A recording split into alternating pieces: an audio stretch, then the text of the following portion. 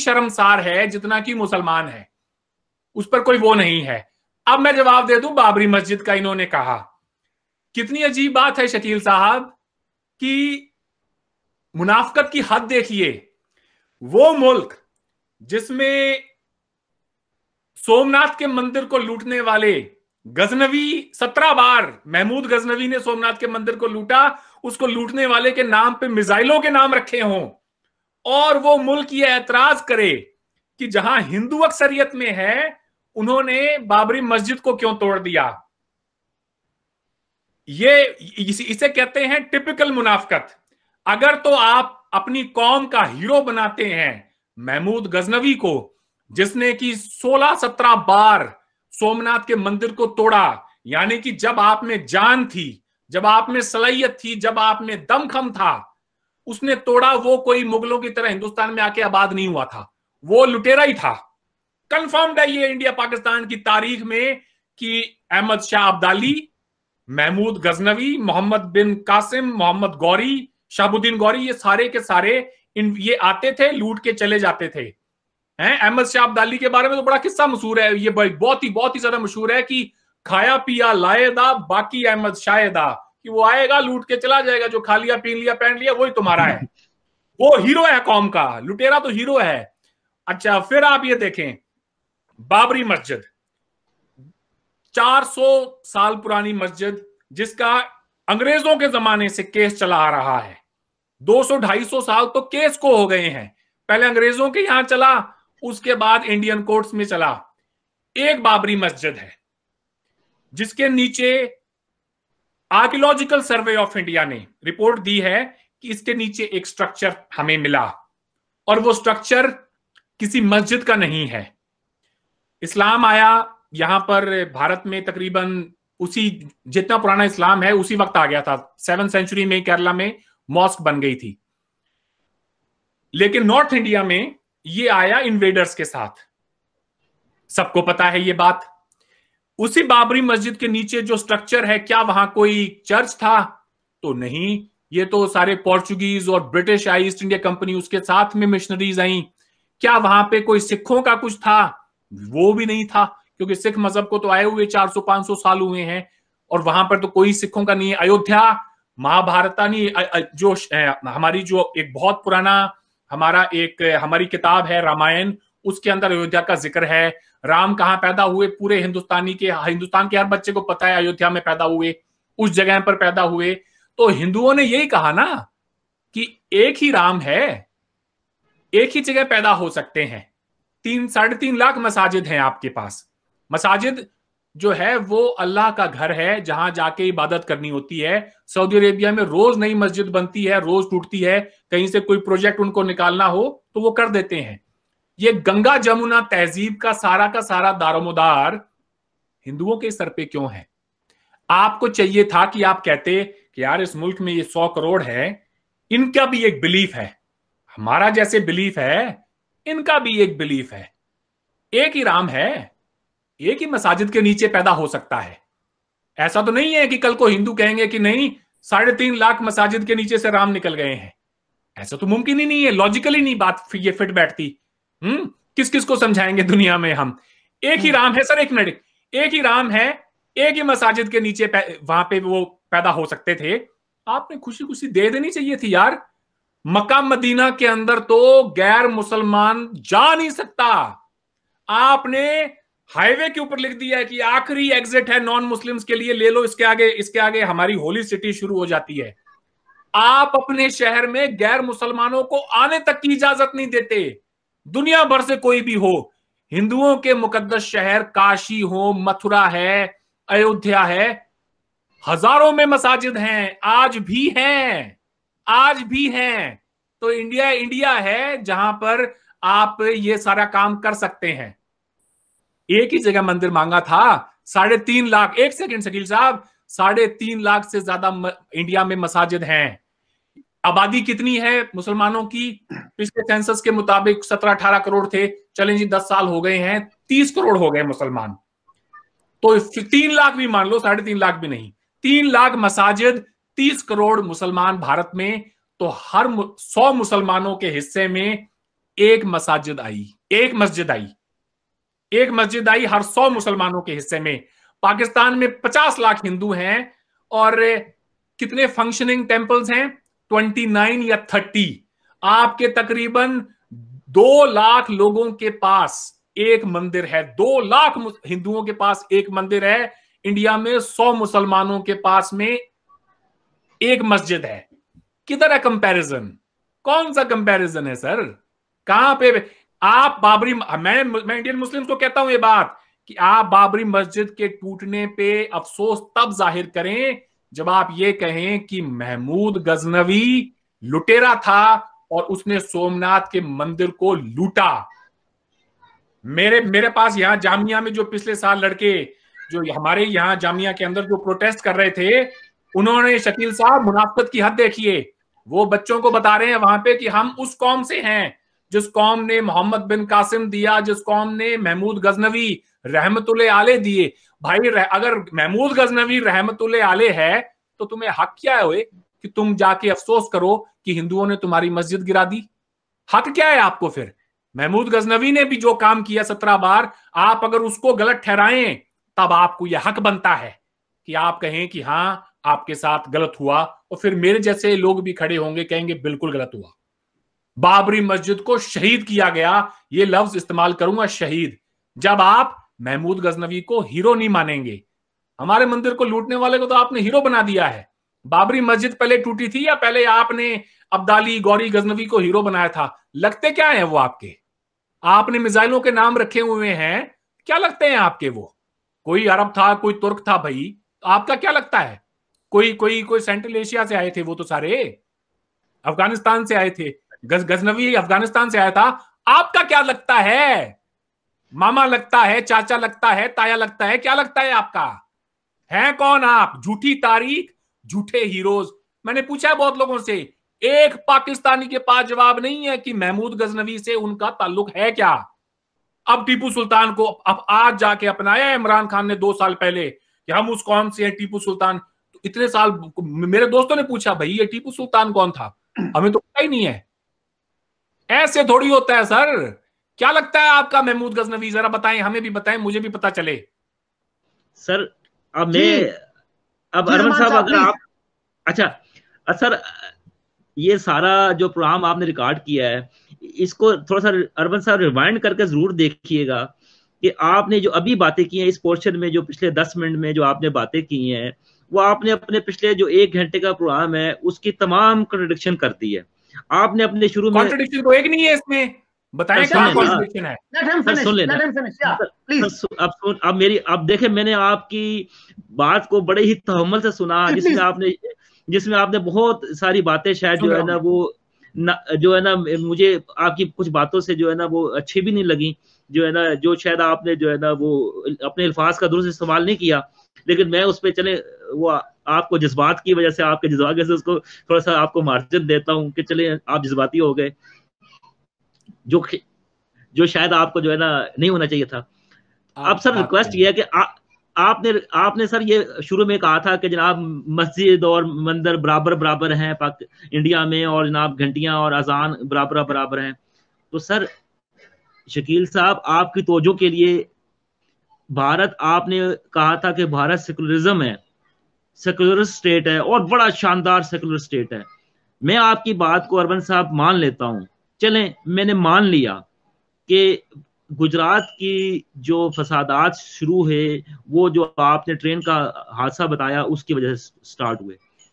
तो सर, गुजारिश ये है कि इसका मतलब है कि वो जो आपने बात की थी कि हिंदू और मुसलमान बड़े ही आराम से मस्जिदें और मंदिर साथ साथ और बड़े आराम से रह रहे हैं तो इसका मतलब आपने इस बात से को गलत साबित कर दिया ना सर?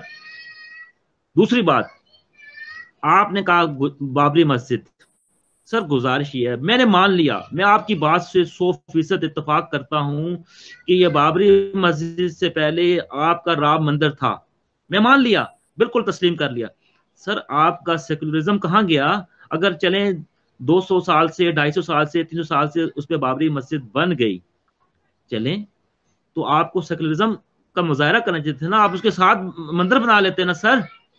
अब एक मस्जिद बन गई तो आप उसको मुझे उसके सर आप मेरी बात सुन ले आप उसको जवाब ज़रूर हाँ, हाँ, बोले बोले बोले बोले हाँ हाँ ठीक है ठीक है ठीक है हाँ, सर सर रिक्वेस्ट सर गुजारिश ये अरविंद साहब कि मैं मुझे मुझे बिल्कुल उसमें क्या कहते हैं आपकी बात बिल्कुल बजा है कि जब हम जान में थे तो हमने ये काम किया हमने आपके मंदिर लूटे गजनवी आपने कहा सर हमें इस्लाम ने हमें ये दर्श दिया है कि आपने कहा ना गजनवी आपको क्या लगता है?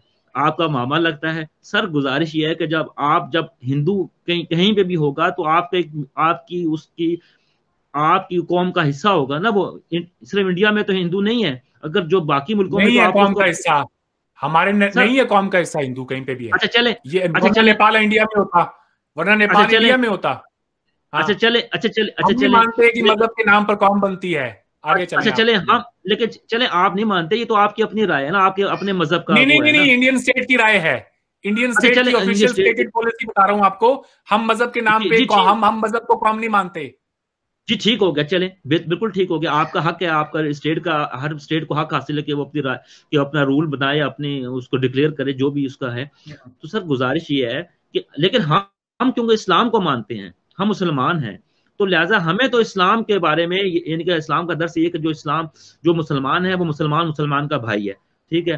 तो शकील साहब मेरे भाई हैं क्योंकि वो मुसलमान है, शकील साहब मेरे भाई हैं, ठीक है? कहो कि आप भी मेरे भाई हैं इंसानी इंसानी नाता आप मेरे भाई हैं, मुझे उसका कोई वो नहीं है, मैं आपको बिल्कुल जो है ना, मैं मेरे नज़र में आप और शकील साहब बराबर है इंसानियत के नाते, बिल्कुल मैं आपको, लेकिन लेकिन क्योंकि शकील साहब के साथ मेरा एक इस्लामी ताल्लुक है, एक मजहबी ताल्लुक है, इसी तरह गजमी से मेरा कोई ताल्लुक नहीं है, सवाए इस्लाम के मज़हब के। ठीक है ना? और मैं इसको ऑन करूँगा। मुझे मुझे, और ये बात आपकी बिल्कुल बजा है ठीक है? आप ये दुरुस्त कह रहे हैं कि आपकी नज़र में वो लुटेरा था। मैं इसमें कोई, मुझे इसकी, मुझे आपकी राय का एहतराम है। आपको हक हासिल है कि आप उसको लुटेरा कहें। लेकिन आप मुझे ये मुझे ये हक दें कि मैं उसको अपना हीरो मानूं। ठीक है, जान है। ये देखो माइट इज़ राइट ये ये दुनिया, आप इसको मज़हब से अगर इसको हटके भी देखेंगे तो ये ताकत का कानून, इसको मज़हब के अलावा ये एक ताकत का कानून ये दुनिया से चला आ रहा है, अजल से चला आ रहा है, सर। इसको आप आप इसको, एक मिनट कोई मुसलमान अगर एक सेकंड आपकी बात की दलील आ गई दस सेकंड में बात बात अपनी मुकम्मल कर दूँगा। कोई मुसलमान आप हर हर मुसलमान आपका भाई है कोई मुसलमान आके अगर आपके ही अपने मुआशरे के अंदर जुल्म तशद करे बहन बेटियों की आबरू लूटे तो क्या वो तब भी भाई है? सर बिल्कुल भाई है कि अच्छा, बात ये कि आपकी अगर औलाद सर सुन लेना आप उसकी जवाब सुन लेना करियो ना। सर सुन लेना उसका जवाब सुन लेना। आप सर हमारे घरानों में हमारे हमारे बच्चे अगर नाफरमान होते हैं तो क्या हम उनको कत्ल कर देते हैं या उनको हम डिक्लेयर कर देते हैं कि हमारे बच्चे नहीं है? बात ये नहीं है। सर गुजारिश भी भाई है। सर सुन लेना सुन लेना। बिल्कुल मैं मुसलमान होने के नाते उसको मेरा वो मेरा भाई है। लेकिन अगर उसने गलत काम किया गुजारिश ये है कि देखें आप इसको इसको उस, हाँ, उस, उसने गलत काम किया आगे बोल रहे थे आप उसके आगे बोल रहे हैं उसने गलत काम किया तो सर उसने गलत काम किया मैं उसको बिल्कुल कंडेम करता हूँ। ठीक है ना? तो अगर महमूद गजनवी को कंडेम क्यों नहीं करते? महमूद गजनवी को कंडेम क्यों नहीं करते? उसने कौन सा सही काम किया? गुजारिश सुन लेना आप मेरी गुजारिश तो सुन लेना। आपने मेरी पूरी बात सर आप आप मैं सुन रहा हूँ मैं सुन रहा हूँ। नहीं मैं सुन रहा हूँ सुन रहा हूँ प्लीज़ हाँ। सर गुजारिश ये है कि देखें मैंने ये अर्ज़ किया कि ये देखें आ, आपकी नज़र में उसने गलत काम किया उसने मंदिर लूटे मैंने मैं, मैंने इसको तस्लीम कर रहा हूँ कि उन्होंने आपके मंदिर लूटे होंगे। महमूद गजनवी ने आपके होंगे या लूटे सर? होंगे या लूटे? चले। एक बात करें। अच्छा चले। अच्छा चले लूटे। चले अच्छा। मैं अरबन साहब की बात को मैं अरबन साहब की बात को सेकंड करता हूँ। मैं मान लेता हूँ इनकी बात को। इनकी बात को मैं मान लेता हूँ। लेकिन सर गुजारिश ये है कि अब इसमें ये देखना ये पड़ेगा ना कि ये तो आपका नज़रिया है ना कि उन्होंने लूटा। ठीक है ना? मेरा नज़रिया नहीं है लूटा। देखिए तो हैं लूटे। होंगे नहीं इन्होंने पूछा होंगे या लूटे? आपने कहा लूटा। अब आप कह रहे हैं मेरा नज़रिया है कि लूटा। आपका नज़रिया क्या है? लूटा या नहीं लूटा? सर मैं कह रहा हूँ लूटा है ना। मैं कह रहा हूँ लूटा है। ठीक है ना? लेकिन उसको देखना ये मैंने ये मैंने तो ये बात मैं तो इस बात से इनकार नहीं कर रहा हूँ। मैंने तो ये बात नहीं की। देखे ना जो जो तारीख का हिस्सा है जो फतुहात सोमनाथ का मंदिर गिराया गया है हम इसमें कोई शक नहीं का बड़े उसको उसको बयान करते हैं। देखें इससे पहले इस इंटरव्यू से पहले मैं शकील साहब से यही बात कर रहा था ये अर्ज़ कर रहा था कि देखें ये एक पॉइंट ऑफ़ व्यू तो अलग है ना आपके नज़र में जो चीज़ अच्छी हो सकती है जो सिचुएशन के मुताबिक जो हालात के मुताबिक जो एक फैसला पॉलिसी अगर एक बन गई वो बाद में जाके दस साल बाद वो गलत साबित हो गई। तो उसने हमें ही नहीं लूटा। सुने? उसने हमें नहीं लूटा। महमूद गजनवी का गवर्नर था अयाज जिसका मकबरा है लाहौर में। उसने लाहौर को आग लगा दी। पूरे लाहौर को आग लगा दी मरने वाले मुस्लिम भी थे जलने वाले मुस्लिम भी थे। सर अरविंद साहब आपकी बात मैंने मैंने आपकी बात से डिनाई नहीं कर रहा हूँ। आप दुरुस्त कह रहे हैं। तो, तो वो हीरो कैसे है? तो वो हीरो कैसे है? सुन लेना। आप सर आप मेरी पूरी बात को मुकम्मल तो होने देना। मैंने आपकी पूरी बात सुनी आपने अब मेरी बात को मुकम्मल होने दें ताकि शायद आपको मेरी बातों को जो है ना वो आपको तमाम आपकी तसली शायद हो जाए जवाब से। प्लीज़ बात करें। हाँ। वो का वो का तसली शायद आपकी नहीं होगी क्योंकि आपके जज्बात है मेरे। अच्छा। गुजारिश ये है कि देखिए हाँ। मुसलमानों की आप हिंदू और मुसलमानों की लड़ाई की बात करते हैं अहमद शाह अब्दाली की गजनबी की बात करते हैं। हम तो मुसलमान आपस में लड़ते रहे हैं सर। हमने एक मुसलमान मुसलमान ने गल, एक गले काटे हुए हैं। आपके इनकी हिंदुस्तान की तारीख में आप देख लें कि हमने मुगलों ने एक दूसरे के साथ क्या लड़ाइयाँ की हैं। तो आप हिंदू को तो हम अलग वो रख देते हैं ना तो इसको। हिंदू को ब्लेम करना है या नहीं करना है?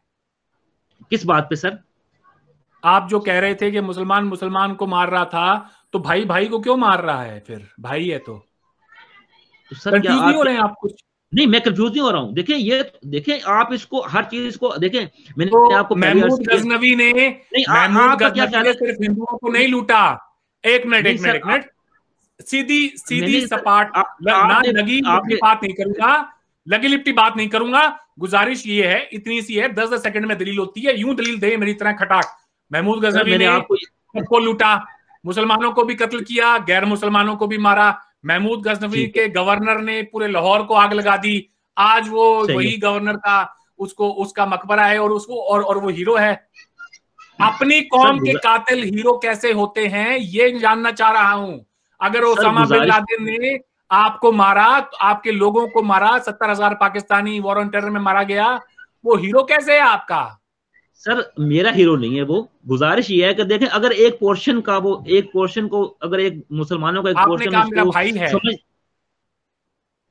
आपने कहा मेरा भाई है। मेरी जी बिल्कुल मेरा भाई है। मैंने भाई है Osama bin Laden I don't think so आपका भाई है आपने कहा मेरा भाई मेरी पूरी नहीं आप आप मेरी आप मेरी पूरी बात सुन लेना आप मेरी पूरी बात को जब तक मैं आपको देखें मैंने आपको पहले भी अर्ज़ किया। सुनाएँ।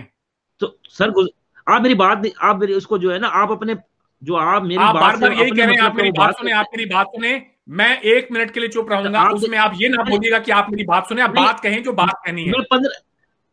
अरविंद साहब मैं आपका पंद्रह मिनट पूरी खामोश मैंने पिन साइलेंट जो आपके लिए मैंने सुनी आपकी बात ठीक है ना? बात करें लेकिन आप बात आपने कर रहे हैं। और आपने पाँच और आपने पाँच मिनट मेरी बात को मुकम्मल खामोशी से नहीं सुना ठीक है ना? गुजार गुजारिश ये है कि देखें, आपके अपने जज्बात हैं, आप, मैंने पहले अर्ज़ किया कि आपके अपने ख्याल है, मेरी अपनी राय है, ठीक है ना? अब इस बात का फैसला कौन दुरुस्त है, कौन गलत है, मैं और आप नहीं कर सकते हैं, ठीक है ना? एक पोर्शन जब मुसलमानों का उसामा बिन लादन को एक एक वो मुसलमान है, हमारा, हम उसको क्या कहते हैं, मुसलमान, एक वैसे मुसलमान उनको अपने, अपनी कम्युनिटी का हिस्सा समझते हैं अपना भाई समझते हैं, लेकिन अगर एक बंदे ने गलत किया तो उसको मैं उसको मैं कंडम कर रहा हूँ ना। मैं उसको तो ये बात ही नहीं कह रहा हूँ कि देखिए आप क्या हिंदुओं में आप क्या क्या ख्याल है कि सारे तमाम लोग अच्छी है क्या हिंदुओं में इतना छोटा सा सवाल है सर। जो आप बार बार बात को आप जलेबी की तरह ना घुमाए। वो पंजाबी में कहते हैं ना तुम हूँ पानी च मधानी मार रहे हो सर। अगर वो जो गलत किया जो गलत किया एक सेकेंड। सर जो गलत किया आप ये कह रहे हैं बाहैसियत। हम मुसलमान हैं भाई मानते हैं लेकिन कुछ गलत किया तो कंडेम करते हैं। आई गॉट योर पॉइंट मैं कर रहा हूँ ना योर पॉइंट तो महमूद गजनवी को कंडेम करेंगे या नहीं करेंगे? सर देखिए गुजारिश ये है कि मैंने आपको पहले ही अर्ज़ किया ना कि अब देखे मैंने उस वक्त के जो हालात हैं जब उसकी तारीख है ठीक है ना गुजारिश हाँ। ये है आप मेरी बात सुन ले आप हंस रहे हैं ठीक है ना लेकिन गुजारिश बात ये अरे आगे बात करें उसके हाँ। देखें मैं अब उसको मैं कहूँ कि जी उन, वो किस हालात में आया उन्होंने वाकई आपकी बात दुरुस्त है पहले तो इस बात पे डिबेट होगी ना कि जी वाकई आपकी बात ये साबित होता है कि वो वो वाकई ही लूटने के लिए आया था। आपको इन्होंने आपने अभी शकील साहब ने पूछा ना आपसे कि लूटा होगा या लूटा तो आपने कहा लूटा इसीलिए तो मैं बोल रहा हूँ ये बात कि आपने आई गेस एक सेकेंड आप एक सेकंड साहब आपने तस्लीम किया उसे इसलिए मैंने बोला क्या आपने तो तस्लीम तो नहीं किया मैंने तो आप था मैंने तो मैंने तो आपकी बात को तस्लीम किया है ना आपने कहा लूटा मैंने कहा जी ठीक है लूटा होगा। मैं तो आपकी बात को तस्लीम तो होगा नहीं इन्होंने पूछा है आपसे कि लूटा होगा या लूटा था?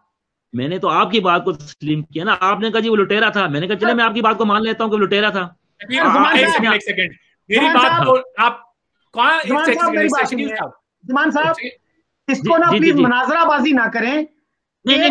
टाइम रहे। सुन लेना प्लीज़ मनाजराबाजी हमने बहुत की है फेसबुक पे। इस तरह की मनाजराबाजी ना करें। एक स्टैंड लें अच्छा, उस पे स्टिक करें। ठीक है?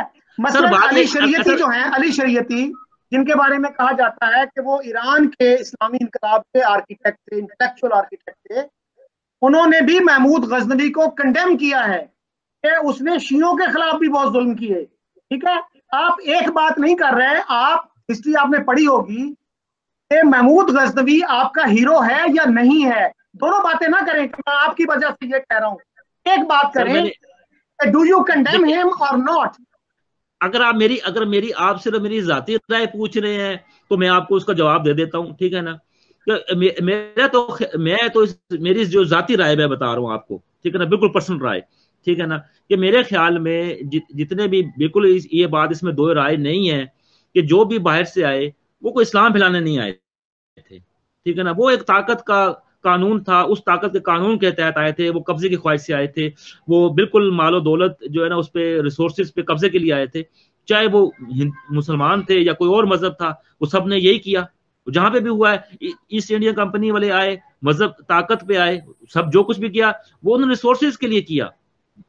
Sir ji East India company को सर ईस्ट कंफ्यूज ना करें इशू को। ईस्ट इंडिया कंपनी को कोई पाकिस्तानी अपना हीरो नहीं मानता। महमूद गजनवी को लोग हीरो मानते हैं। सर इस बात को कंफ्यूज ना करें प्लीज़ सुन ले बात। सर यूके वाले तो मानते सर यूके वाले तो मानते होंगे यूके की हम बात तो नहीं कर रहे हैं हम पाकिस्तान में बैठे हैं इधर बैठे हैं। सर हर मुल्क ने अपने हर मुल्क ने अपने उसको वो डिफेंड करना होता है ना। जानना चाह रहा हूँ। क्या क्या यू सर यूके ने कहा कि हमने गलत किया? सर आप अपनी राय दीजिए कि महमूद गजनवी को आप हीरो मानते हैं या आप उसको कंडेम करते हैं इस बात पे? दूसरों के साथ ना करें बात सर प्लीज़ सर मैंने आपको पहले ही आपने मेरी पूरी सर बात नहीं सुनी। मैंने आपको ये कहा कि जो भी आए जो बाहर से जो भी आए वो ताकत के कानून के तहत आए। ठीक है? उनको आप हीरो समझें या ज़ीरो समझें आप क्या समझते हैं? आप अपनी बात करें आप क्या समझते हैं? सवाल ये है। अब आप मेरी राय समझते हैं? जी आपकी राय आपकी राय हम दस मिनट से तीसरा हम तीनों के अलावा कोई चौथा बंदा नहीं बैठा। हम दस मिनट से आपकी राय जानना चाह रहे हैं और अपनी राय नहीं दे रहे हैं आप। जी मैं मैं अच्छा चले मैं कैटेगरी मैं कैटेगरी राय दे रहा हूँ। ना मैं इनको हीरो समझता हूँ और ना मैं इनको लुटेरा समझता हूँ। तो उन्होंने इसका मतलब है कि जो सोमनाथ के मंदिर पे अटैक किया उसको लूटा उसको आप कंडेम नहीं करते। बिल्कुल मैं उसको नहीं कर रहा कंडेम क्योंकि वो ताकत का कानून था वो लड़ाई थी वो उसमें कोई मजहबी उसमें कोई मज़हब का कोई ताल्लुक नहीं था। यार इस्लाम की तालीमत क्या है इस हवाले से? इस्लाम इजाज़त देता है एक हुक्मरान को दूसरे मुल्क पे सर दूसरे मुल्क पे वो हमला करे और उनकी अबादत गाहों को ताख्तो ताराज करे उसको लूट के ले जाए इस्लाम का मौकफ क्या है इसके बारे में? बिल्कुल इस्लाम इस बात की कतल इजाज़त नहीं देता। तो फिर भी आप महमूद गजनी को कंडेम नहीं कर रहे कि उसने इस्लाम के खिलाफ किया। सर मैं, मैं इसको इस देखिए मैंने आपको कहा अगर आप इस्लाम के उस पर बात करेंगे तो गलत किया उसने ठीक है? लेकिन अगर आप ताकत के कानून के तहत माइट इज़ राइट के तहत इस्लाम को मानते हैं कि ताकत के कानून को मानते हैं? देखिए आप दुनिया में जब आप रहते हैं तो सिर्फ़ आप मज़हब के देखिए मज़हब की बुनियाद पर तो नहीं आपने रहना है ना? फिर आप जब आप बात करते हैं तो आपके सिर्फ़ आप मज़हब के साथ तो आपने को वास्ता नहीं होगा ना आप सारा? आपने दुनिया में रहकर तो कुछ चीज़ें करनी है ना? जुमान साहब आपसे पूछ रहा हूँ आप ताकत के कानून को मानते हैं या इस्लाम को मानते हैं? मैं इस्लाम को मानता हूँ। तो इस्लाम के मुताबिक महमूद गजनवी ने सर महमूद गजनवी ने ये चीज़ खिलाफ इस्लाम की या इस्लाम के मुताबिक की?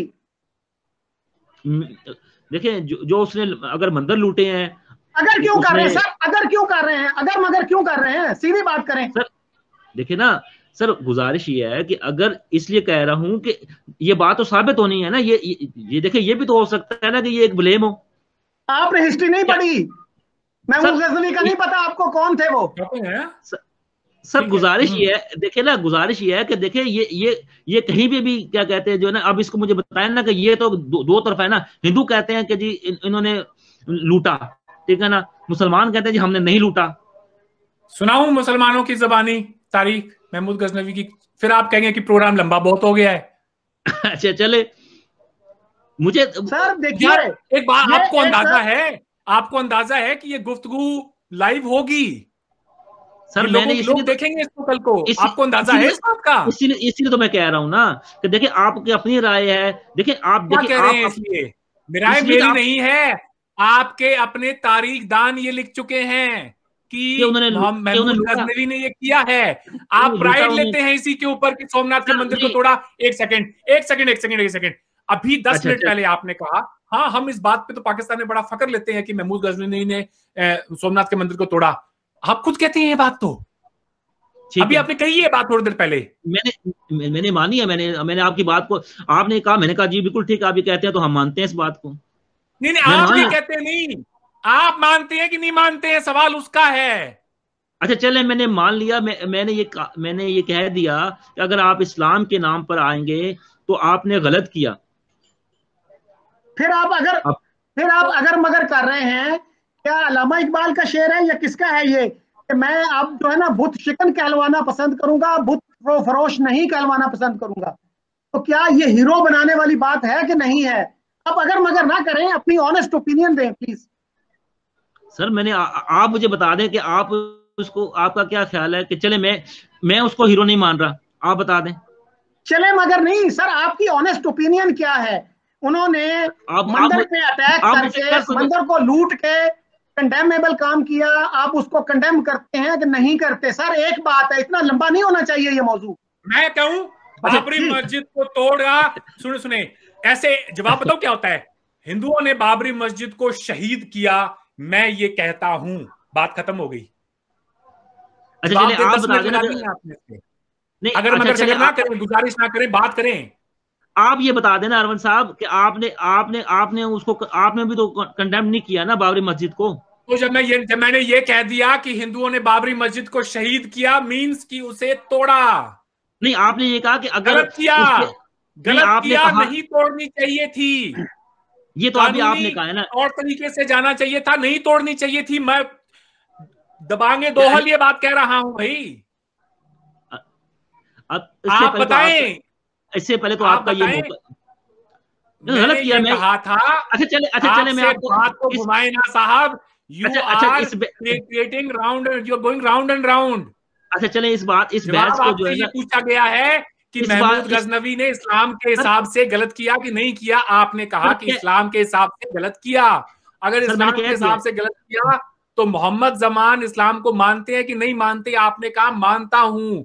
अगर आप तो इस्लाम को मानते हैं और किसी ने इस्लाम की नाफरमानी की है तो वो कंडेमेबल है या नहीं है ये सवाल शकील साहब ने पूछा है। मैं इसलिए इंटरव्यू कर रहा हूँ because you gone round and round तीन दफ़ा कह चुका हूँ कि मैं उसको कंडेम करता हूँ कि अगर इस्लाम किसी को इस बात की इजाज़त नहीं देता कि किसी के मज़हब के आप उसको जाके उनकी उनके खुदाओं को बुरा कहें उनकी उनके उनकी इबादत को आप खराब करें उसको इस्लाम इस बात की कतन इजाज़त नहीं देता ज, जब तक कि उनकी तरफ़ से पहल ना की जाए आपको तर शर अंगेजी की आपके खिलाफ कोई बात ना की जाए आपके साथ लड़ाई ना की जाए उस वक्त इस्लाम सुलह का और अमन का दस देता है।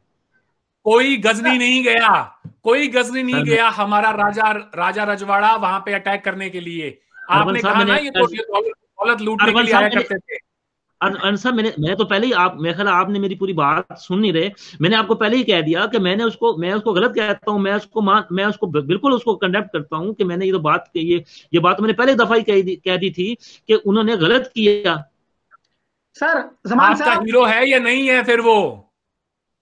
नहीं मेरा हीरो तो नहीं है मैंने तो पहले ही कह दिया था मेरा तो हीरो नहीं है वो। जमान साहब क्या पाकिस्तानी स्टेट का पाकिस्तानी मुआशरे का महमूद गजनवी हीरो है कि नहीं? क्या हमारे एक मिसाइल का नाम जो है वो गजनबी के नाम पे रखा गया कि नहीं रखा गया? शकील साहब मैंने आपको पहले ही बताया था कि अर्ज़ किया है आपको कि हमारी अगर एक पोर्शन इस बात को मानता है हमारा मुसलमानों के पाकिस्तानी कौम का अवाम का एक मेजॉरिटी पोर्शन इस बात को मानती है कि महमूद गजनवी अहमद शाह अब्दाली हमारे हीरो थे। मैं तो पहले आपको ये बात कह चुका हूँ आप मेरी बातों को मतलब कि उसको मेरी अल्फाज को आप सुन नहीं रहे शायद मुनासिब तरीके से उसको मेरे ख्याल उसमें जी मैं समझ गया। जमान साहब इसका मतलब ये है एक चीज़ एक ऐसा बंदा जिसको आप कंडेम करते हैं उसको पाकिस्तानी स्टेट और पाकिस्तानी माशरे की अक्सरियत हीरो समझती है। चले अब हम आइंदा एक और मौजू की तरफ़ चलते हैं सर। अच्छा, कश्मीर की अच्छा, थोड़ी सी बात कर लें। अच्छा स्टेट अच्छा स्टेट की तो मैं बात नहीं कर सकता क्योंकि स्टेट का तो अपना मौकफ है मुझे मुझे तो नहीं आज तक जो है ना वो कहीं पे ऐसा नज़र आया कि उन्होंने वो किया है। सर टेक्स्ट बुक्स में टेक्स्ट बुक्स में उनको हीरो बना के पेश किया जाता है। देखिए अगर नाम स्टेट ने रखा है ना। मिसाइल तो का नाम स्टेट तो, ने रखा है किसी नॉन स्टेट एक्टर ने नहीं रखा। सर वो तो पृथ्वी चेंज कर लें। सर वो तो पृथ्वी मिसाइल भी तो है वो तो पृथ्वी मिसाइल भी तो है ना सर पृथ्वी से क्या बनता है? शकील साहब शकील साहब एक सेकंड क्या है पृथ्वी मिसाइल? नाम है ना। क्या है पृथ्वी? हाँ किसके पीछे है? ठीक है ना आप कही है ना जो आपके आपने पृथ्वीराज चौहान कहा अभी। रिकॉर्डेड है ये? जी नहीं पृथ्वी मैंने पृथ्वीराज चौहान? है? जी। चौहान ही कहा मैंने जी। अच्छा चले। पृथ्वीराज चौहान कहा। नहीं मैंने कहा पृथ्वी मैंने कहा पृथ्वी मिसाइल। मिसाइल लेकिन आपने इसमें मैं मैं दोबारा चलाऊँगा इसको आपके सामने। आपने कहा पृथ्वीराज चौहान के नाम पे पृथ्वी मिसाइल भी तो है ना? ये कहा आपने तभी मैंने पकड़ तभी अच्छा, मैंने पकड़ा इसे। अच्छा चलें बताएँ। अच्छा चलें आप बताएँ। Again distortion of history in Pakistan at its best हमारे अच्छा। हम धरती से जुड़े हुए लोग हैं साहब। हमारी मिसाइलों के नाम जो हैं वो उसी के ऊपर बेस्ड हैं। पृथ्वीराज चौहान के नाम पे please let me finish Prithviraj Chauhan के नाम पर पृथ्वी मिसाइल नहीं है। यह आफ्ताब इकबाल साहब ने भी अपने प्रोग्राम में बात कही थी जिससे मैंने उनके फ़ोन किया उनको उनको समझाया। उन्होंने कहा उन्होंने मुझसे माफ़ी भी मांगी इस बात के लिए। अच्छा हमारी एक मिसाइल का नाम है अग्नि जिसका मतलब है आग। एक मिसाइल का नाम है पृथ्वी जिसका मतलब है धरती। ठीक है। हमारे जितने भी जो नेचुरल फोर्सेस होती है ना वो उनके नाम पर हैं जिन जिनको हम लोग मानते हैं। एक मिसाइल पृथ्वी अग्नि ये ये मिसाइल होगी। उसके बाद में उसके बाद में हमारी जितनी भी और जितनी भी मिसाइलें हैं हवा के नाम पे पवन के नाम पे और इस तरह के नाम है एक भी मिसाइल किसी आदमी के नाम पर नहीं है। अच्छा, अच्छा चलें ठीक है। समान साहब समान साहब ये आपके इलम में है कि अफगान गवर्नमेंट ने भी पाकिस्तान से प्रोटेस्ट किया था कि आप हमारे हीरोज के नाम पे अपने मिसाइलों के नाम क्यों रख रहे हैं? इसको कैसे देखते हैं आप? अच्छा मेरी अगर जाती राय आप पूछेंगे कैटेगोरिकली मैं आपको बता रहा हूँ कि मैं इस चीज़ को मैं इसको मैं खुद इसको अच्छा नहीं समझता। चले अच्छी बात। अच्छा सर ये बताइए कि आपने मुझे बताया था कि आप जावेद गांधी साहब के बड़े मद्दा हैं। सर गांधी साहब ने ब्लेसमी लॉ के बारे में ये कहा है कि ये कानून जो है कुरान हदीस और फिका हनफी के खिलाफ है। तो हमारी पार्लियामेंट इस पर डिबेट करने की ज़रूरत नहीं रखती। हमारे जर्नलिस्ट इसको इस पे बहस नहीं कर सकते। तो आप कैसे देखते हैं सिचुएशन को? अच्छा, इसने माशरे को कितना नुकसान पहुँचाया है और कितना अच्छा, फ़ायदा? अच्छा पहली बात तो ये है कि गामदी साहब का मदा होना और बात है। लेकिन क्या मैं तमाम बातों के मैं मैं गामदी साहब की तमाम बातों से इतफाक नहीं रखता हूँ। ठीक है। ठीक है। मैं उनकी इस बात से इतफाक बिल्कुल नहीं करता हूँ कि जैसे अरवन साहब ने कहा ना कि हमारा मंदिर को तोड़ना एक लुटेरा था और उन्होंने कहा कि जनाब ये गलत है गलत काम किया इस्लाम की इजाज़त देता। तो क्या मेरा क्वेश्चन ये है कि क्या हिंदू धर्म में या चले हिंदू धर्म को हम वो नहीं करते बहस नहीं लाते कि शायद फिर कश्मीर पे सर मैं एक क्वेश्चन आपसे कर लूँ before we conclude sir general Faiz Ali Chishti ने सोहेल बड़ाइच को इंटरव्यू देते हुए कहा था कश्मीर पर हमारा हक है जब तक हम ये ले नहीं लेते भारत से सुलह नहीं हो सकती और ना तजारत हो सकती है। मसला कश्मीर सिर्फ़ जंग ही से हल हो सकता है। उन्होंने ये भी कहा कि अब ये मुल्क ईमानदारों के लिए जहन्नुम और बदमाशों के लिए जन्नत बन चुका है। शाहनवाज फारूकी जो चीफ एडिटर हैं जसारत के, जमात इस्लामी का जो अखबार है, वो कहते हैं, हुकूमत ऐलान जहाद करे तो मोदी कश्मीर खाली कर देगा। हमारे हुक्मरान कश्मीर के मामले में कश्मीरियों से खेल रहे हैं। हमारी हुकूमत चाहती तो अमेरिका से कहकर मसला हल, मसला कश्मीर हल करा सकती थी। आपके क्या जाती राय है इस बारे में? मेरी जाती राय ये है कि ये सब सियासी बातें हैं सब सियासी बयान आते हैं। तो क्या हल क्या है? प्रैक्टिकल सोल्यूशन है कोई कश्मीर के इशू का? तो मेरा ख्याल है कि देखें अब मैं और अरबन साहब यहाँ पे दो घंटे से बैठे हुए हैं तीन घंटे से। तो हम किसी बात पे जो है ना वो हमारे जज्बात एक दूसरे से नहीं मिल रहे हैं हमारे एक दूसरे के इख्तलाफात हो रहे हैं। तो आप सोचें कि दो मुल्क जो तिहत्तर साल से एक इशूज पे इख्तलाफ करके बैठे हुए हैं इशूज दरमियान में है तो वो अगर उन्होंने रिजॉल्व होना होता आपस में बैठ के तो वो हो चुके होते। आपकी नज़र तो में हल क्या है? Sir third party third party जो हमें जो हमारे दरमियान में जिसे कहते हैं ना कि वो जैसे हम कहते हैं ना कोई बड़ा ही आ गया हमें समझाएगा। बच्चे दो तो लड़ रहे होते हैं तो बड़ा ही आगे समझाता है उनको फिर एक को एक लगाता है दो लगाता की बात मैं कर दूँ। सुन ले मुझसे सुन ले कश्मीर का हल ये है लाइन ऑफ़ कंट्रोल को इंटरनेशनल बॉर्डर बनाए। दो टूक बात होती है ये कौन सी थर्ड शिमला अग्रीमेंट के तहत वो तो आपने वो तो वो तो स्कोप ही नहीं मेरा नहीं मैं आपकी ओपिनियन आपकी ओपिनियन जो अच्छा, है आप शिमला एग्रीमेंट की बात कम उसमें हकीकत पसंद आना रवैया तो हो। मैं ये तो नहीं कह सकता अगर आपने जैसा जवाब दिया है ना अगर वैसा जवाब मुझे देना पड़े कि मेरी ओपिनियन क्या है और वो बिल्कुल खाबो ख्याल की दुनिया में हो तो मैं कश्मीर को उठा के और जो है गुजरात के पास ना उसको सेट कर दूँ। ये क्या बात हुई? देखिए ये तो आप, आप ये देखो देखिए रियलिस्टिक हल ये आपको रखी गई है प्रोग्राम में।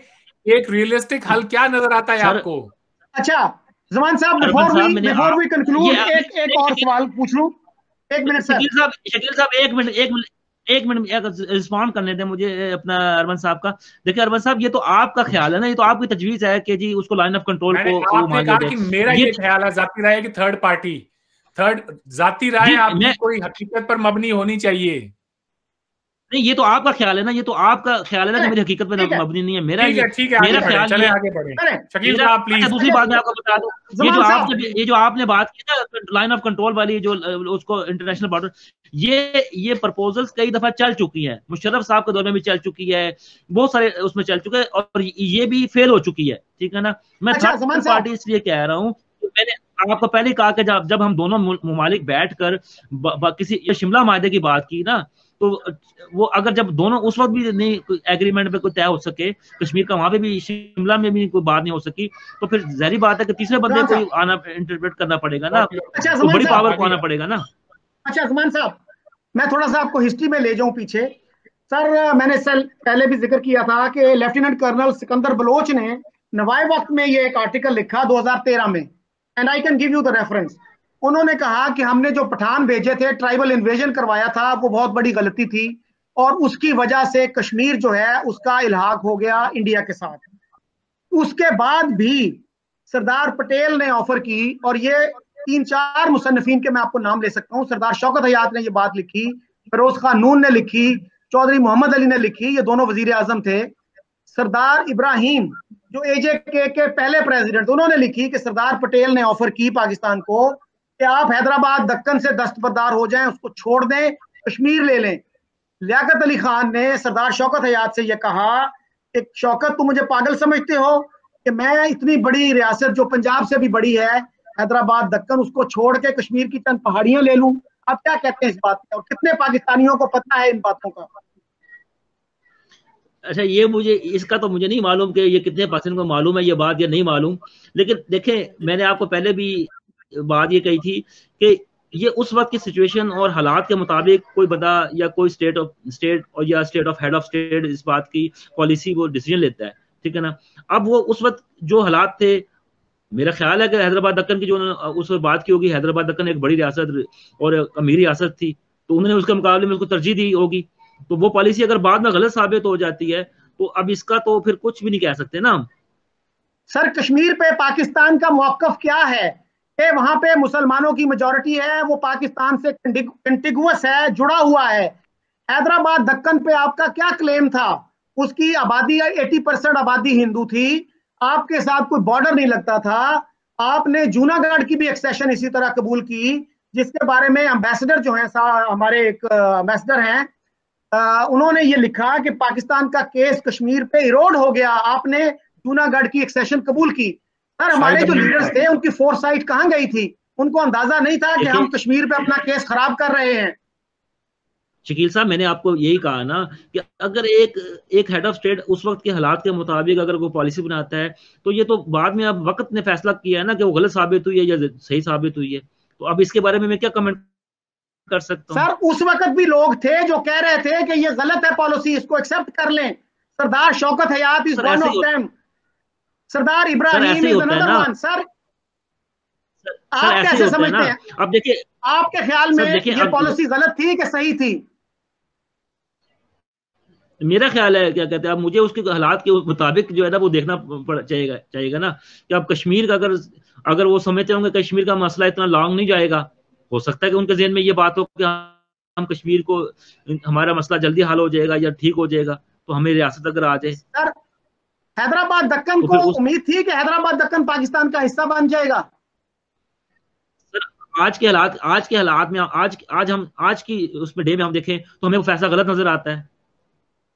उस वक्त गलत नहीं था। हमारे जो लीडर्स थे जिनके बारे में हमें दिन रात बताया जाता है कि उनकी बसीरत बड़ी आला दर्जे की थी कायदे आज़म मोहम्मद अली जना इतने बड़े कायद थे लियाकत अली खान इतने बड़े कायद थे मुस्लिम लीग इतनी जनाब ज़बरदस्त पार्टी थी उसमें कोई बंदा ऐसा नहीं था जो उनको बता देता कि आप गलत पॉलिसी पे जा रहे हैं हैदराबाद दक्कन आपको नहीं मिल सकता जूनागढ़ आपको कभी नहीं मिल सकता आप कश्मीर पे फोकस करें आपको प्लेट में रख के कश्मीर मिल रहा था आपने नहीं लिया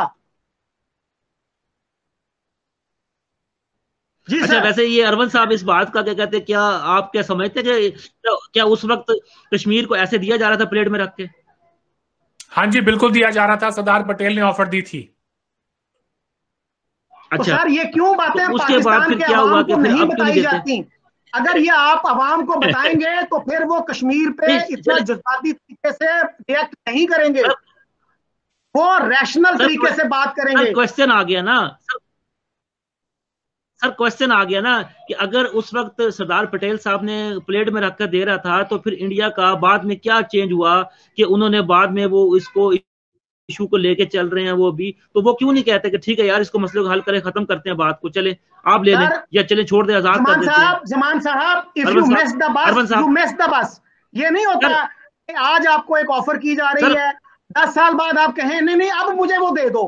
फिर आप पचास हाँ। साल बाद कहें नहीं अब वो मुझे दे अच्छा, दो। चले सर आपकी आपके जो लीडर्स थे अच्छा, इसका मतलब ये हुआ प्लीज़ सुने। अब तो अगर अब की बात आप आप, मतलब आप ऐसी बात कर रहे हैं सुने सुने।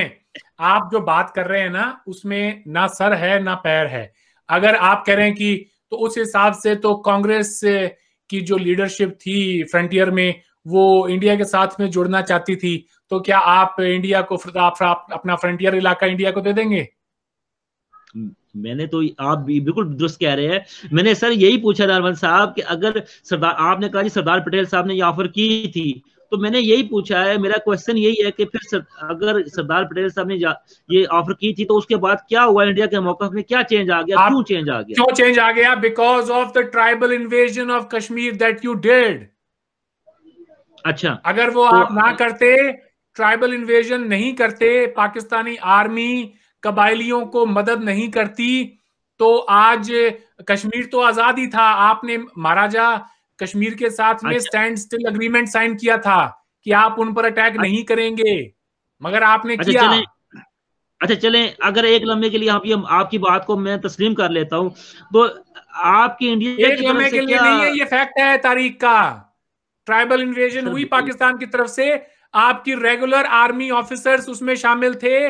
आपकी क्वेश्चन तो जीएचक्यू से उनको असला दिया गया तीन लाख रुपए तो आपकी ट्रेजरी में से दिए गए। क्वेश्चन तो आपको नहीं पता ये बात? सर क्वेश्चन तो सुन लेना। क्वेश्चन ये है कि चले कि आप ये हम आपकी इस बात को मैं मान लेता हूँ। चले। क्वेश्चन ये है मेरा कि क्या इसके बाद इंडिया को ये इंडिया की तरफ़ से क्या पहल हुई कि वो उसको वो रिजॉल्व करने को इस इशू को रिजॉल्व करने के लिए कुछ करते? बहुत ही अच्छा सवाल बहुत ही अच्छा सवाल। हमने क्या किया? हम इस मसले को यूएन में लेकर गए। यूएन ने इसके ऊपर बहुत सारी रेजोल्यूशन पास करी। उन्हीं में से एक रेजोल्यूशन है रेजोल्यूशन 47 नाम सुना है कभी आपने? जी। क्या है उसमें? पता है आपको? जी बताएँ। आप बताएँ आप बताएँ। आपको नहीं पता मतलब आपको नहीं पता मतलब। सर मुझे सर मुझे नहीं पता आप बताएँ। जी प्लीज़ बताएँ। जी यूएन रेजोल्यूशन 47 अप्रैल 1948 में पास हुई और उसके अंदर तजवीज दी गई कि यहाँ पर प्लेबिसाइट करवाई जाए। प्लेबिसाइट करवाने के लिए तीन शराइत रखी गई। पहली शराइत यह रखी गई कि पाकिस्तान को जो जो हिस्सा कश्मीर का आपके कब्जे में है वहाँ से कंप्लीटली अपनी फौजों को हटाएँ। पंजाबी और कबाइली जो वहाँ पर आए हुए हैं, जितने भी, जो भी कश्मीर का नहीं है, उनको वहाँ से हटाएँ। फिर इंडिया भी डीमिलिटराइज करेगा। लेकिन इंडिया को इजाज़त होगी कि वो मिनिमल अमाउंट पर अपनी फोर्सेस को वहाँ पे डिप्लॉय कर सके to maintain law and order उसके बाद में India would appoint a plebiscite administrator और फिर वहाँ पे प्लेबिसाइट होगी और ये सारे के सारे स्टेप जो हैं ये सीक्वेंशियल हैं कि पहले पाकिस्तान ने ये करना है, फिर इंडिया ये करेगा, उसके बाद में प्लेबिसाइट होगी। पाकिस्तान ने कभी भी अपने फोर्सेस को विड्रॉ नहीं किया, उसके बाद ना ही कभी पंजाबी को विड्रॉ किया, और सर, उसके बाद कभी फिर वहाँ पे रेजोल्यूशन का आगे फुलफिल करने का जो क्या कहते हैं चांस था, वो खत्म हो गया। You missed the boat again उसके बाद आपको मैं बता दूँ बात उसी रेजोल्यूशन पर खत्म नहीं हो जाती है। उसके बाद एक और रेजोल्यूशन है। And let me read it out to you ये तो बड़ा अच्छा किया। ये तो ऑन बिल्कुल हैंडी है मेरे पास ये इंफॉर्मेशन उसके बाद एक और यूएन करारदाद पास करता है। और वो करारदाद क्या है? उसका नंबर बता देता हूँ। वो है 51 और ये पास होती है जून के महीने में, दो महीने बाद। और उसमें फिर से याद कराया जाता है पाकिस्तान को कि आप जो क्या कहते हैं रेजोल्यूशन 47 है उस पर अमल दरामद करें। अपनी फोर्सेस को विड्रॉ करें पाकिस्तान ने नहीं किया। You missed the boat again अच्छा। अच्छा इसमें अच्छा चले। आ, ये तो आपका मौकफ है ना लेकिन दूसरे आप नहीं नहीं नहीं नहीं नहीं नहीं एक मिनट ये गलत बात है। ये मेरा मौकफ हरगिज नहीं है। जनाब वाला आपको मैं यूनाइटेड नेशंस की मैं मेरा मौकफ नहीं है। खुदा ने आपको आँखें दी है अंग्रेज़ी पढ़ने की सलाहियत दी है। खुदारा अपने ऊपर एक रहम करें उसको पढ़ें। ये यूए ये यूएन रेजोल्यूशन है उनकी अपनी वेबसाइट पे है। मेहरबानी करें इसको पढ़ें। मेहरबानी करें इसको पढ़ें ताकि अरविंद साहब बात यह है कि इंडिया ने अपने स्टेप चले पाकिस्तान अगर वो है तो आप उसको आप अपना एक एक अगर अच्छा जेस्चर देते और आप अपनी फोर्सेस को विड्रॉ कर लें कर अच्छा लें। नहीं अच्छा बुरा नहीं होता है। यूएन के अंदर जेस्चर पे काम नहीं चलता है। यूएन पे सिग्नेटरी जो होते हैं साइन करते हैं वो काम देता जब, है। जब किसी लीगली जब ऐसे नहीं होता है यहाँ पे कोई कोई दरियादिली की बात नहीं होती है सर एक्स मिनट लीगल डॉक्यूमेंट्स की कोई हैसियत होती है। लीगल डॉक्यूमेंट्स की हैसियत होती है। आपने ये मसला जो है ये उस वक्त हल नहीं होना था। यू मिस द बोट फिर आपने पैंसठ की जंग कर दी सर और जंग के बाद में तो ये किस्सा खत्म कर दिया। क्या आपको पता है? एक सेकेंड क्या आपको पता है? क्या आपको पता है यूनाइटेड नेशंस की आखिरी रेजोल्यूशन कौन सी है कश्मीर पे? क्या आपको पता है रेजोल्यूशन कौन सी है लास्ट कश्मीर पे? जी बताएँ। 49 फोर्टी, नहीं जनाब 307 है। और वो भी 21 दिसंबर 1971 को, जब आप जंग हार गए थे ईस्ट पाकिस्तान में, उसके बाद में यूएन ने आखिरी बार रेजोल्यूशन पास करी है कि from now on this is a bilateral issue आप जाने, आपका काम जाने। हम इस मसले से बाहर हैं। अच्छा चलें। बहुत अच्छा पॉइंट आ गया आपका। अब ये बताएँ कि जब आपका जब आपका बायोलेटर आ गया तो फिर इंडिया चले इंडिया अगर स्टेप वन अबव कर ले ना। क्यों कर ले इंडिया आपको दुनिया ने कहा है कि ये पहले आप करेंगे। यू हैव सवाल पूछा अच्छा, गया। यूएन सुने सुने सुने। जब आपने जब मालूम ना हो तो सुन जब आपने ये कह दिया यूएन सिक्योरिटी काउंसिल में सवाल तो पूछा गया कि पाकिस्तान ही अपनी फोर्सेस क्यों हटाए? तो यूनाइटेड नेशंस ने जवाब में ये कहा Pakistan has been labelled as an aggressor आपको आलमी दुनिया ने अग्रेसर माना इसलिए आपको हटने को कहा गया। India was the applicant India was the applicant in the United Nation security council you are the aggressor बात बात ये है कि अरबन सर जब आपने ये कह दिया कि 71 में जब लास्ट रेजोल्यूशन आई है यूएन की तो उसमें उन्होंने बायोलेटरल बात कर दी ना कि आप जाने और आपका काम ये आपके अल्फाज है ना। तो फिर आप, आप मुझे आप मेरे अल्फाज नहीं है। क्या आपको पता है क्या आपको पता है कि अब यह बात इशू है। Let me educate you little bit so that you can educate your kids and the future generation of Pakistan so that call अब आप मेरी बात सुन लेना बात यह है कि आप सारा इल्ज़ाम के लिए है ही नहीं, नहीं, आपको कुछ पता ही नहीं है। आपको कुछ पता हो तो मैं कुछ सुनू भी तो आपको मैं तो आपके आर्टिकल सिक्स सर सुने सुने। आपको पता है कि आपको पता है कि यूनाइटेड नेशंस के चैप्टर सिक्स और चैप्टर सेवन की जो रेजोल्यूशन है उनमें फ़र्क क्या होता है? Do you know about it अच्छा अब मैं अब मुझे अब मुझे सिर्फ़ सवाल का जवाब सवाल ये है कि आपको फ़र्क पता है कि नहीं पता?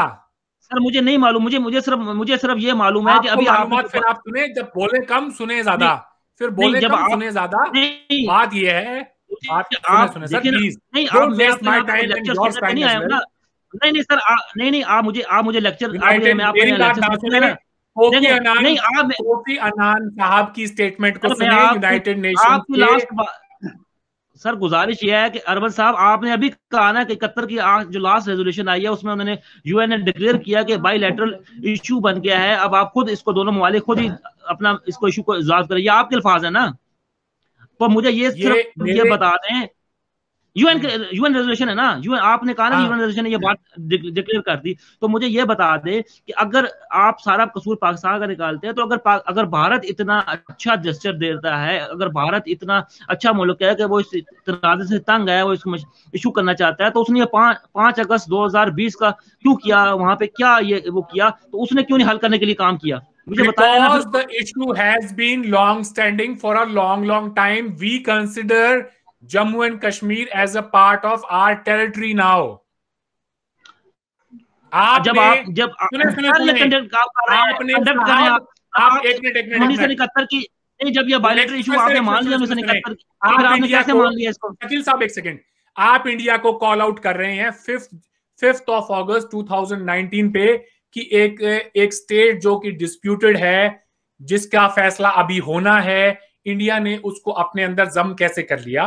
वेरी वैलिड पॉइंट लेकिन मैं आपको यह कह रहा हूँ इंडियन स्टेट की यह पॉलिसी है, लेकिन आप इस हैसियत में ही नहीं है कि आप ये सवाल पूछ सकें। वजह उसकी दो, कि इंडिया ने जो काम 2019 में किया, वो आपने कराची अग्रीमेंट के तहत 70 साल पहले ही कर दिया था। पॉइंट नंबर टू इंडिया ने एक अक्साइड चिन का area which is part of Jammu and Kashmir as per the United Nations India से तो चाइना ने लिया है जंग में जंग करके ले गए। आपने किया है उसे गिफ्ट। तो जो हिस्सा होता है डिस्प्यूटेड आपको किसने हक दिया भाई कि आप दूसरे को गिफ्ट करते चलें? अच्छा बात ये है कि देखिए हक दिया? नहीं अच्छा अभी आपने अपने आप आपकी बात केस अरे बाबा आपका केस कश्मीर पे फ्लॉड है इसीलिए दुनिया आपकी मानती नहीं है बात। अभी अच्छा चले आप बात यह है कि आपने खुद ही जब एक बात कर ली तो आपकी ये दोनों बातों में तजाद है कि जब आपने उसे इकहत्तर की रेजोल्यूशन का हवाला दिया कि जी ये एक बायोलेटरल इशू है तो फिर आपके ये पाँच अगस्त 2019 वाली बात को तो फिर हमने गलत किया ना तो आप भी गलत कर रहे हैं। आप क्या कौन रहा है? नहीं साहब देखिए आप ये हैसियत या हैसियत वाली बात तो गलत बात साबित हो गई ना। बहुत ज़्यादा टाइम लग गया आई थिंक बात ये आपने एक मिनट सर आपने भी गलत हमने गलत किया तो आपने कुछ अच्छा काम कर लिया? जमान साहब प्लीज़ लेट्स लेट्स कंक्लूड मैं गुजारिश ये करूँ जी जी। जो जो लोग होते हैं ना समझदार लोग एक तो ये है कि बैसा बैसी सत्तर साल हो गए हमें तिहत्तर साल तिहत्तर साल हम इसमें और लगा दें। अगर हम अफोर्ड कर सकते हैं इसको। दूसरी बात सर ये है मैंने आपको पहले भी बताया था कि एम पी नकवी हमारे एक सीनियर जर्नलिस्ट थे। उन्होंने 88 में ये लिखा था कि 65 में हमने ताकत इस्तेमाल करके देख ली उसका कोई नतीजा हमारे हक में नहीं निकला। उसके बाद हमें ये मान लेना चाहिए था कि लाइन ऑफ़ कंट्रोल को एक्सेप्ट करने के अलावा हमारे पास कोई हल नहीं है। हमने ये नहीं किया और हम तिहत्तर साल से खजल खराब हो रहे हैं। तिहत्तर साल और लगे रहेंगे तो यही नतीजा निकलेगा। आप क्या समझते हैं? एक मिनट। क्या क्या पाकिस्तानियों ने इस पे कास्ट बेनिफिट एनालिसिस किया है? कि हमें इसका क्या फ़ायदा हुआ? क्या नुकसान हुआ? एम बी नकवी की बात सही थी कि गलत थी? देखिए मैंने आपको पहले भी ये कहा था कि देखिए ये एक प्रपोजल है। ये जो लाइन ऑफ़ कंट्रोल वाली प्रपोजल है ये ये ये खुद बाजादा खुद एक फेल प्रपोजल है। ठीक है ना? इसका अभी तक कोई जो है ना कोई भी दो, दोनों स्टेट बात वही है कि अगर हम गलत कर रहे हैं तो इंडिया कौन सा हमारे लिए अच्छा कर रहा है? इंडिया में तो अपने हर दर में बेकायम है ना। अगर वो, अगर इसको सॉल्व करना चाहे तो इशू को तो चले, वो कहेंगे, ठीक है, आप आए अब बैठते हैं, हम बात करते हैं, इसको किसी भी सूरत हाल में जाकर उसको बायोलेटरल जब इशू बन चुका है, ये यूएन रेजोल्यूशन के मुताबिक 1971 में इंदिरा गांधी ने जुल्फिकार अली भुट्टो साहब को कहा था कि लाइन ऑफ़ कंट्रोल को इंटरनेशनल बॉर्डर बना लेते हैं। जिस पर भुट्टो साहब ने कहा कि लेट मी गो बैक मुझे आवाम में एक माहौल बनाने दें, मुझे छह महीने का वक्त दें, मैं let me convince the people और उसके बाद हम ये कर लेंगे। अगर मैं आज यहाँ से कुछ साइन करके चला जाता हूँ तो पीछे जाऊँगा तो मुझे नोच डालेगी आवाम। अच्छा देखिए आपने मेरी खुद ही बात की इस बात को जो है ना वो तस्दीक कर दी कि ये जो प्रपोजल है ये फेल प्रपोजल है। देखिए ना फेल नहीं है ये फेल आपकी तरफ़ से है। नहीं नहीं आप देखिए ना आप आप इसमें एक आप जो इसमें जो एक serious about resolving the issue अगर आप होते तो आप इसको मान चुके होते। देखिए अब आप एक आपको बर्बाद कर दिया है इस चक्कर में। नहीं अब आप एक नहीं है। अब आप एक फैक्टर और जो है ना इसमें मिस कर रहे हैं ना। प्लीज़ वाइंड अप ठीक है ना। आप आप अच्छा। कश्मीरियों की आप कश्मीरियों की राय को क्यों नहीं आप आप उसको लेते हैं? आप उसकी राय को क्यों नहीं आप आप अगर भारत अगर इतना सेकुलर है और वो रोशन पसंद है और अमन पसंद मुल्क है। पूरे हिंदुस्तान में बड़ा अच्छा सवाल और ये मैं आखिरी जवाब दे रहा हूँ उसके बाद। बहुत ही अच्छा सवाल है इनका। पूरे हिंदुस्तान के अंदर एक ही स्टेट है जहाँ पर मुस्लिम अक्सरियत में है। और वो कहते हैं कि ला इला इल्लल्लाह पाकिस्तान से रिश्ता क्या? ला इला इल्लल्लाह। वो तो रिश्ते ही ला इला इल्लल्लाह के नाम पे बनाते हैं। वो शुक्र है कि बाकी जो इंडिया है उसके अंदर कोई मुस्लिम अक्सरियत स्टेट नहीं है वरना इन्होंने अगर हैदराबाद मुस्लिम अक्सरियत स्टेट होता तो in the heart of India एक और बहुत बड़ी इंसर्जेंसी इस्लाम के नाम पे उभर रही होती। खुदारा थोड़ी शर्म करें। इंडोनेशिया में बाली है। खाली प्रोविंस है अब आप इस बात अब इस बात को देखिए ना अब आपने है। अब आप इस बात को देखिए ना अब ये ये हिंदू है। सर गुजारिश नहीं चल रही। शकील साहब देखिए ये ये हिंदुइज्म है। ये हिंदुइज्म है कि देखिए जब यहाँ पे आके फिर एक्सट्रीज्म हिंदुइज्म भी एक्सट्रीज्म पे चले जाते हैं कि इन्होंने खुद ही कहा कि जनाब इस्लाम अब देखिए इसका मतलब है कि ये मुसलमानों को इंडिया में मजहबी तारीख है। भाई मैं आपने भाई सवाल का जवाब दे रहा हूँ आप तो सेकुलर आप तो सेकुलर है ना। तहरीक है। वो आप मान रहे हैं ना। डिटर्मिनेशन की तहरीक नहीं है। मान रहे हैं ना। सर मान रहे हैं ना आप मान रहे हैं ना कि कश्मीरी पाकिस्तान के साथ जुमान साहब जुमान साहब आप मान रहे हैं कश्मीर पाकिस्तान के साथ मिलना लास्ट बात sir let us conclude sir Ali Gilani साहब ने कुछ अरसा पहले एक बयान दिया था कि मुसलमान किसी नॉन नॉन मुस्लिम सोसाइटी में नहीं रह सकता सेकुलर सिस्टम में नहीं रह सकता। वो इसी तरह होता है जैसे मछली पानी के बाहर है। अगर इस इस लॉजिक को हम मान लें तो फिर इसका मतलब ये है कि 20 करोड़ तो हिंदुस्तानी मुसलमान हैं उनको भी हम अपने आप पास बुला लें। तो पाकिस्तानी वो गए हैं कनाडा गए हैं अमेरिका गए हैं बरतानिया गए हैं और ऑस्ट्रेलिया गए उन सबको भी बुला लें ताकि सही इस्लामी रियासत कायम हो जाए। देखिए thank you very much thank you Arvind